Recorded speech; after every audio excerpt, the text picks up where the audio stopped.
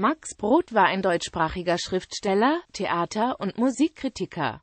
Sein einst erfolgreiches literarisches Werk ist heute weitgehend unbeachtet. Bedeutungsvoll sind seine Verdienste um den Erhalt der Werke des Schriftstellers Franz Kafka als deren Herausgeber, Bearbeiter und Interpret. Darüber hinaus war Brod Förderer der Komponisten Leos Janáček und Jaromir Weinberger.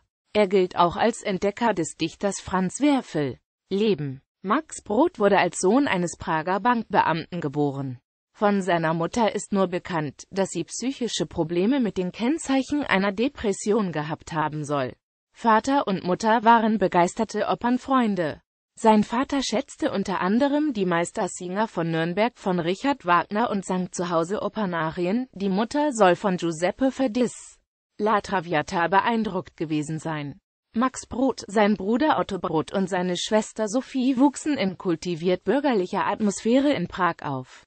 Max Brod war Absolvent des Stephans-Gymnasiums in Prag, nahm anschließend an der Deutschen Karl-Ferdinands-Universität in Prag ein Jurastudium auf und promovierte dort 1907 zum Doktor der Rechtswissenschaften. Er trat in die akademische Landsmannschaft Herzynia zu Prag ein, eine Studentenverbindung, die von 1871 bis 1939 bestand und als alte Prager Landsmannschaft Herzynia im CC zu Frankfurt am Main heute weiter besteht.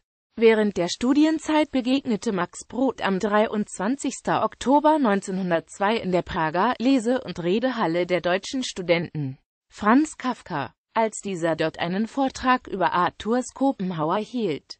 Eine lebenslange Freundschaft begann, über deren Beginn in einer Publikation von Max Brod folgendes überliefert ist. Nach diesem Vortrag begleitete mich Kafka, der um ein Jahr ältere, nach Hause. Er pflegte an allen Sitzungen der Sektion teilzunehmen, doch hatten wir einander bis dahin kaum beachtet. Es wäre auch schwer gewesen, ihn zu bemerken, der so selten das Wort ergriff und dessen äußeres Wesen überhaupt eine tiefe Unauffälligkeit war. Sogar seine eleganten, meist dunkelblauen Anzüge waren unauffällig und zurückhaltend wie er. Damals aber scheint ihn etwas an mir angezogen zu haben, er war aufgeschlossener als sonst. Allerdings fing das endlose Heimbegleitgespräch mit starkem Widerspruch gegen meine allzu groben Formulierungen an. Max Brod und Franz Kafka trafen sich fortan häufig oft täglich und blieben bis zu Kafkas Tod befreundet. Franz Kafka war öfter Gast im Elternhaus der Brods und lernte dort 1912 seine spätere Freundin und Verlobte Felice Bauer kennen, die eine Cousine von Brods Schwager Max Friedmann war. Zusammen mit Brods engem Freund Felix Welch und Franz Kafka bildeten sie die sogenannte Prager Schule. Nach der Promotion zum Dr. Jur 1907 wurde Brod zunächst Justiz-, Finanz-, Post- und Versicherungsbeamter, dann Theater- und Musikkritiker sowie Feuilleton-Redakteur beim Prager Tagblatt. Er emigrierte 1939 nach Palästina und war bis zu seinem Tod 1968 Dramaturg des Habima-Theaters in Telefon Aviv. Beginn der literarischen Karriere Bereits mit 24 Jahren veröffentlichte Brod als viertes Buch den Roman Schloss Nornepügge der vor allem in Berliner Literaturkreisen enthusiastisch als Meisterwerk des Expressionismus gefeiert wurde. Durch dieses und weitere Werke wurde Brod zu einer bekannten Persönlichkeit der deutschsprachigen Literatur. Er förderte mit Erfolg Schriftsteller und Musiker. Zu den von Brod Protegierten gehörte unter anderem der Dichter Franz Werfel den er bereits 1910 mit einer Gedichtvorlesung in Berlin der Öffentlichkeit bekannt machte, sich mit diesem aber später zeitweise überwarf. Als Werfel begann sich vom Judentum loszulösen und sich dem Christentum zuwandte. Auch mit dem von der jüdischen Religion zum römisch-katholischen Glauben konvertierten Publizisten und Schriftsteller Karl Kraus hatte Brot darüber Auseinandersetzungen. Max Brod war in den Jahren vor dem Ersten Weltkrieg von einem Indifferenten zu einem bewussten Anhänger des Judentums und aktiven Vertreter des Zionismus geworden. Er verstand Angehörige der Glaubensgemeinschaft der Juden in erster Linie als Angehörige einer Rasse und Herkunft und lehnte daher Assimilierung und Mischen mit Angehörigen anderer Religionen entschieden ab. Seine Werke veröffentlichte er seit 1912 im Kurt Wolf Verlag. Entdecker und Mentor der von Johannes Urzidil als ungemein vielseitiger Poeta Doctus bezeichnete Max Brod, der auch als Übersetzer Komponist und Publizist tätig war und mehrere umfangreiche philosophische Werke veröffentlichte, trug unter anderem dazu bei, dass Jaroslav Haseks Weltkriegssatire Der brave Soldat Schweig auf Berliner Bühnen gespielt und der tschechische Autor dadurch im Ausland populär wurde. Max Brod nimmt auch einen ehrenvollen Platz in der Musikgeschichte ein. Er verfasste in Zusammenarbeit mit dem mährischen Komponisten Leos Janáček deutschsprachige Libretti für dessen Opern und verhalf ihm damit zum Durchbruch auf den internationalen Opernbühnen.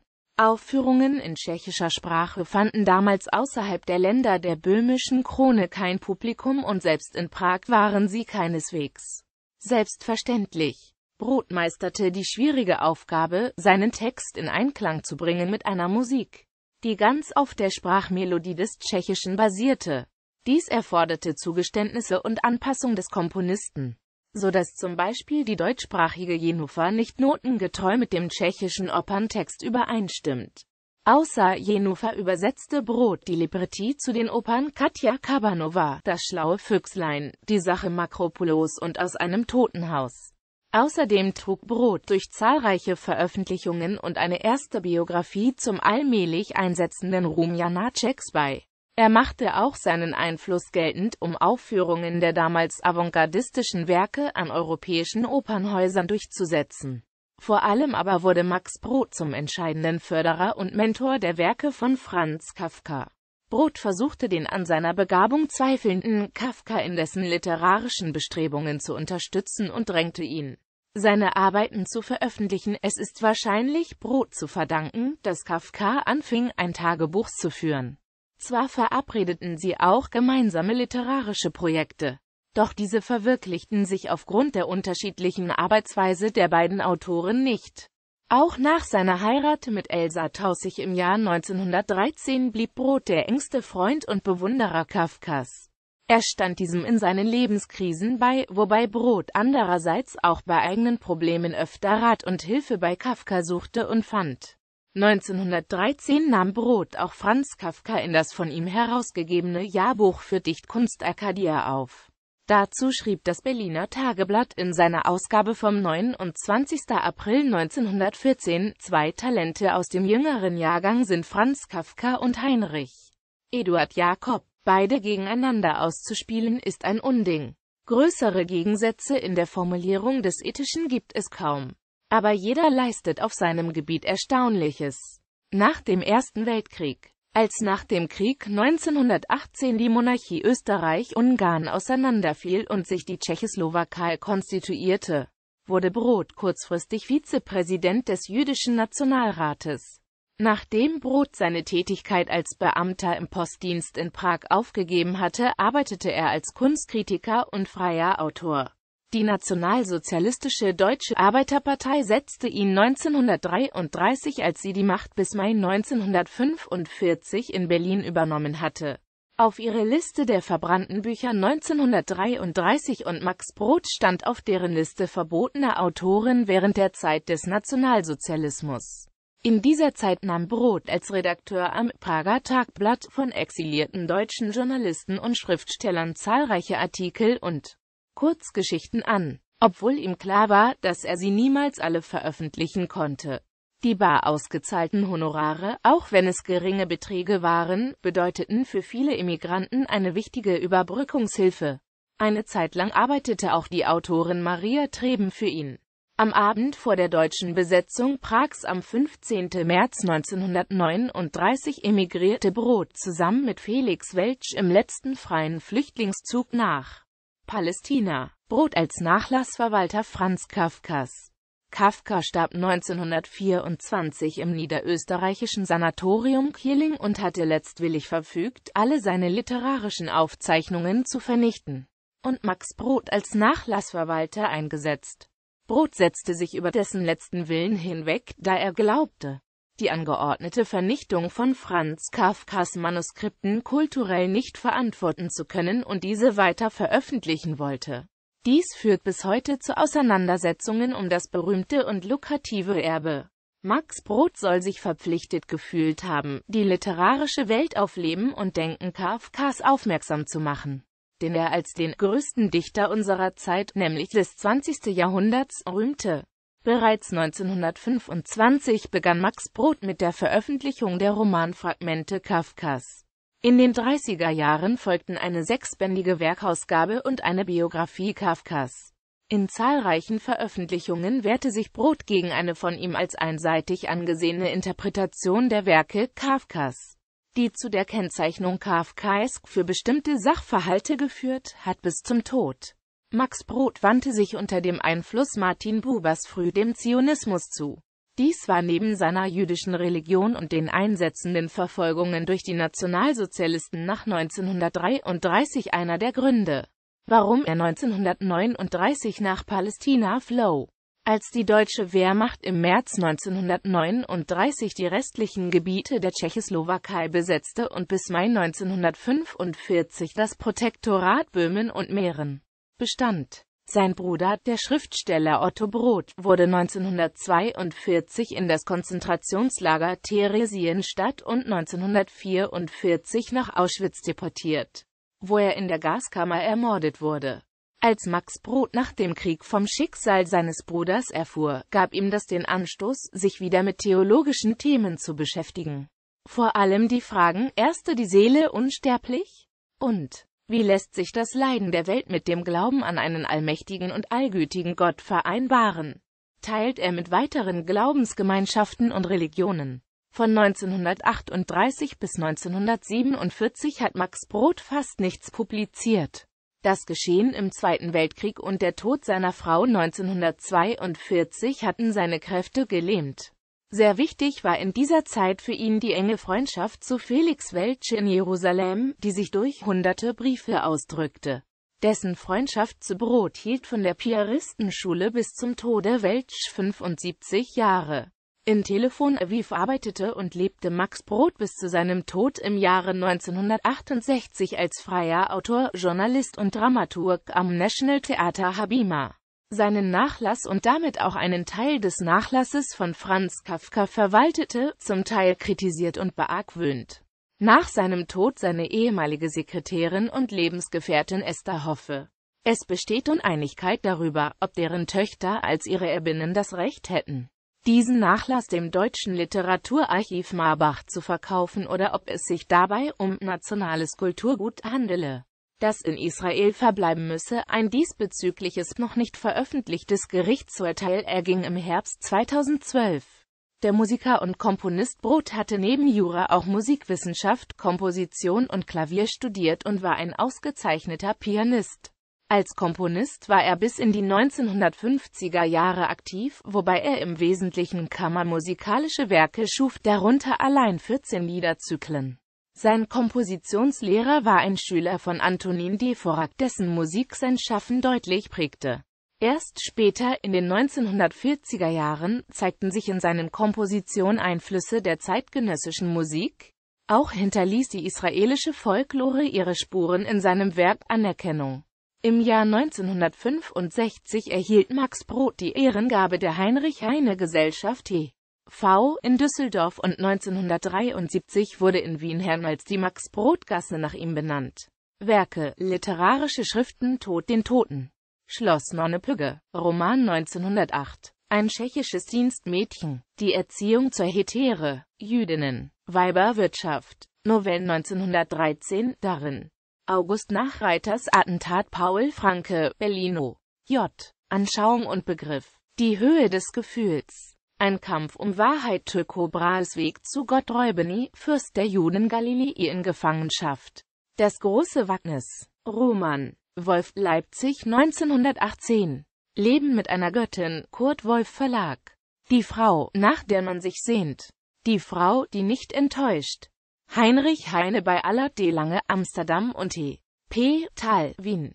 Novellen aus Böhmen. Annal, Annembo. Der Meister. Beinahe ein Vorzugsschüler oder Pistacchi. Das Schlossdrama nach Franz Kafka. Armer Cicero. Rebellische Herzen. Prager Tagblatt. Mira. Jugend im Nebel. Streitbares Leben. Die Rosenkoralle. Ein Prager Roman. Die verkaufte Braut. Der abenteuerliche Lebensroman des Textdichters Karel Sabina Bechtlin, München, Eslingen 1962 Punkt. Ausgewählte Werke. Herausgegeben von Hans-Gerd Koch und Hans-Dieter Zimmermann in Zusammenarbeit mit Barbora Zramkova und Norbert Miller Arnold Bier. Das Schicksal eines Juden. Roman und andere Prosa aus den Jahren 1909 bis 1913. Mit einem Vorwort von Peter Demetz. Wallstein, Göttingen 2013 ISBN 9783835312685. Jüdinnen und andere Prosa aus den Jahren 1906 bis 1916. Mit einem Vorwort von Alena Wagner-Over. Wallstein, Göttingen 2013 ISBN 9783835311930. Die Frau, nach der man sich sehnt. Roman. Mit einem Vorwort von Franz Hessel. Wallstein, Göttingen 2013 ISBN 9783835313330. Tycho Brahes Weg zu Gott. Roman. Mit einem Vorwort von Stefan Zweig. Waldstein Verlag Göttingen 2013 ISBN 9783835313347. Stefan Rott oder Das Jahr der Entscheidung. Roman. Mit einem Vorwort von Jivat Kara Hassan. Waldstein Verlag Göttingen 2014 ISBN 9783835313378 Über die Schönheit hässlicher Bilder. Essays zu Kunst und Ästhetik. Mit einem Vorwort von Lothar Müller. Waldstein Verlag Göttingen 2014 ISBN 9783835313422 Der Sommer den man zurückwünscht beinahe ein Vorzugsschüler. Romane, mit einem Vorwort von Sigrid Brunk. Waldstein Verlag Göttingen 2014 ISBN 9783835313385. Prager Tagblatt. Roman einer Redaktion. Mit einem Vorwort von Thomas Steinfeld. Waldstein Verlag Göttingen 2014 ISBN 9783835313392. Heinrich Heine. Biografie. Mit einem Vorwort von Anne Weber. Waldstein Verlag Göttingen 2015 ISBN 9783835313408. Abhandlungen über die Schönheit hässlicher Bilder. Heidentum, Christentum und Judentum. Sternenhimmel. Musik- und Theatererlebnisse. Leos Janacek. Leben und Werk. Heinrich Heine. Rassentheorie und Judentum mit einem Anhang über den Nationalhumanismus von F. Welch, Franz Kafka, Diesseits und Jenseits, von der Krise der Seelen und vom Weltbildes der neuen Naturwissenschaft, von der Unsterblichkeit der Seele, der Gerechtigkeit Gottes und einer neuen Politik. Israels Musik, streitbares Leben, Johannes Reuchlin und sein Kampf. Der Pragerkreis, zu Franz Kafka der Dichter Franz Kafka. Franz Kafkas Nachlass. Franz Kafka und Max Brod in ihren Doppelberufen. Franz Kafkas Grunderlebnis. Aus Franz Kafkas Kindertagen. Franz Kafkas Glaubensposition. Franz Kafka. Eine Biografie. Das Jüdische in Franz Kafka. Franz Kafkas Glauben und Lehre. Wiederveröffentlichung erweitert um Vor- und Nachworte von Felix Welch und H. D. Zimmermann. Onomato Verlag Düsseldorf 2011 ISBN 9783939511922 Franz Kafka als wegweisende Gestalt. Wiederveröffentlichung. Onomato Düsseldorf 2011 ISBN 9783942864022 Ermordung einer Puppe namens Franz Kafka. Verzweiflung und Erlösung im Werke Franz Kafkas Deutschsprachige Libretti zu Leos Janaceks Opern Jenufa 1918. Katja Kabanova 1922. Das schlaue Füchslein 1925. Die Sache Makropoulos 1926. Aus einem Totenhaus 1930 zu Hans Krasa Verlobung im Traum. Oper in zwei Akten 1928 bis 1930. Text nach Fjodor Michailowitsch Dostojewskis Novelle Onkelchens Traum von Rudolf Fuchs und Rudolf Thomas. Text zum Couplet Traum in der Billardpartie von Brot. Zu Manfred Gorlitnaner Oper in vier Akten. Text nach dem gleichnamigen Roman von Emile Solar. Punkt. Musikkritiken im Prager Tagblatt Janacek und andere. Essays 1924 bis 1938 Herausgegeben von Robert Schmidt-Schäuble, Consorces. Die Berlin 2013 ISBN 9783937416311